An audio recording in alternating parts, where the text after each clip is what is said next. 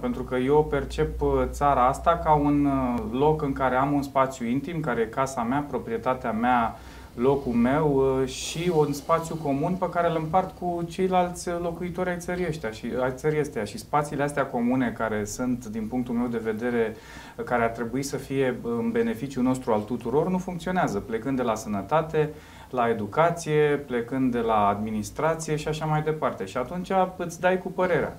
Și ăsta este unul din argumente. Eu mă preocupă țara în care trăiesc și mi se pare absolut normal.